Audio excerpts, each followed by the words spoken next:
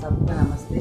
आज एक चर्च का कहानी मैं बताने वाली हूँ आप सबको। मेरा कथा आप सबको पता है, सांप काटा बोल के, इसलिए चलो गुरुदेव मंदिर में जाते हैं। वहाँ जाके क्या है, इसके बारे में पता करते हैं। बोल के मैं गई, उसी के बारे में गई थी मैं।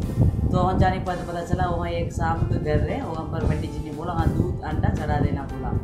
ठीक है, बोल के इसी गवर्नमेंट में हम लोग गई थी। पहले मैंने ऑलरेडी डाल चुकी वीडियो देखा होगा। अभी अभी नया डाली देख लेना।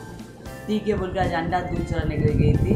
पवन जाने को तो उसने कहानी पता है था क्या कहानी बोल के हमने पूछा, पंडित जी को बोला था सच्ची की कहानी माँ बोला, क्या हो गया पंडित जी बोला? एक माँ था उनका बेटी एज अटेंड किया, अटेंड नहीं किया, बोल के उसने बहुत यहाँ हुआ, पूरा इलाज कराए कुछ नहीं होया फिर जाना कुंडली वाले पास गए थे। जाके बोला, ऐसे मेरे बेटी एक ही लड़की है, उसका एज अटेंड भी नहीं किया, क्या गर्मी में? बोल के पंडित जी के पूछा। पंडित जी ने बोला था, चलो, ऐसे बात है, आप जाके ऐसा हम घर है ना, उधर जाके दूध डाल दो, अंडा चढ़ा दो, अंडा डाल दो दूध डाला हुआ दूध भी अंडा भी चढ़ाने के लिए बोला। उसका तो भरोसा नहीं, उसकी माँ को ठीक है, चलो अपना बेटी के लिए पंडित जी बोल रहा है, बोल के ठीक है मंगत मांग लिया।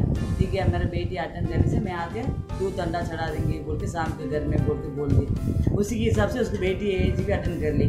ठीक है, बोल के हमारा कुलदेवी मंदिर है ना, वो शाम का वहाँ पर आ गई। वो औरत आके, वो, उसकी माँ है ना, वो आके बोली इधर इधर ही दूध डालना है बोला डालना है मेरे को तो जन्म कुंडली वाला ने बोला था बोला ठीक है हमारे पंडित जी ठीक है मैं उधर जाके डाल दो दूध बोला दूध अंडा डाल दो बोला फिर उन्होंने पूछा था क्या पंडित जी आप देखा क्या यहाँ के सांप दूध अंडा खाता फिर दूध पीता है क्या बोला तो पंडित जी ने बोला वो पूरा मेरे को नहीं पता मैं हम लोग मगर डालते उसका दूध अंडा दोनों देते मगर तेरा मर्ज़ी है तूने तो तेरा तो जन्म कुंडली में ऐसे दान चढ़ाना बोल के मंगत मंगत अब हो या बोला ना ठीक है आप चढ़ा देना दूध अंडा बोला ठीक है उस, उसको तो भरोसा नहीं था ऐसे सांप आगे कहाँ अंडा खाता दूध पीता बोल के।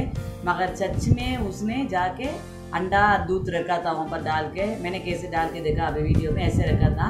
मगर वो आधा घंटा में गायब हो गए कुछ भी नहीं था, उसने देखते रहे, यार, वो सीधे उधर देखते रहे आधा घंटा में सब गायब हो गए, दूध कहाँ गए अंडा कहेंगे हम पता नहीं चले इससे मराकर बोलते। तो फिर उसके बाद उन्होंने आके पंडित जी को पूछा, पंडित जी कहाँ चले गया? ये दूध अंडा बोला। उन्होंने बोला, क्या माँ, आपने तो बैठ के पर देखा, आप तो रखे तो भरोसा नहीं थे मैं ही देखूँगी, बैठ के बोला, ठीक है, बोल, बैठ के देखा।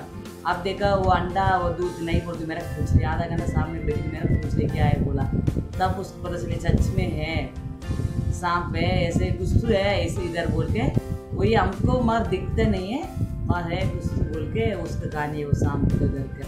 इसलिए सभी आके वहाँ चढ़ा के जाते ऐसे बहुत सारा है वो मंदिर के बारे में, मैं एक करके भी डालेंगे मैं आपको आप देख लेना ये वीडियो, देख लेना मेरे वीडियो। हिंदी में डाल रही मैं, ये देखने के बाद आपको कैसे लगा बोल के बोलना, ठीक है?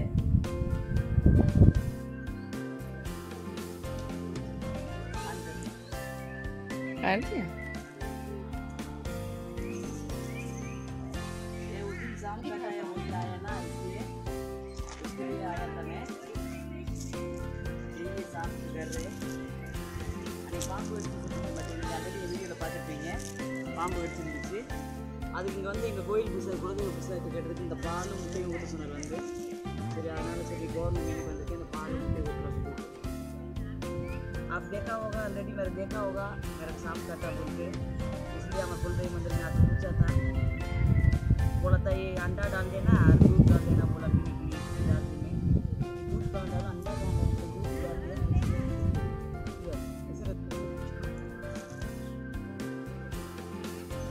छोटे कुमटू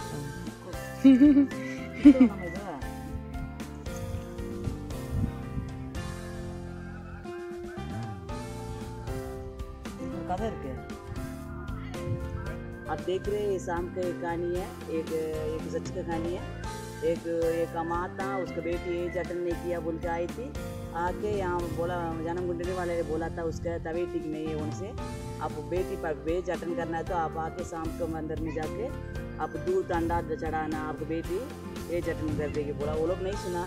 फिर उसने मान लिया, उनको भरोसा नहीं, पर उन्होंने बोला, जन्म कुंडली वाले को उसने कर दिया था। उस बाद मंगत मांग के, उसके बेटी एज अटेंड हो गए ये अटेंड हो गया, मगर उसके बाद भरोसा नहीं था, ये दूध डालने से को आ गया, पी गया, बोल के, फिर यहाँ आके हमारे पंडित जी के पूछा था, उसने बोला था हाँ बोला। फिर पंडित जी को पूछा, ऐसे दूध डालने से क्या शाम पीता आप देखा है क्या? ये सच्ची क्या? बोला। उन्होंने बोला, मैंने तो नहीं देखा, मगर पता है, मेरे को इतना तो पता है, मगर बोलते मगर मैंने देखा, बोला, बोल के।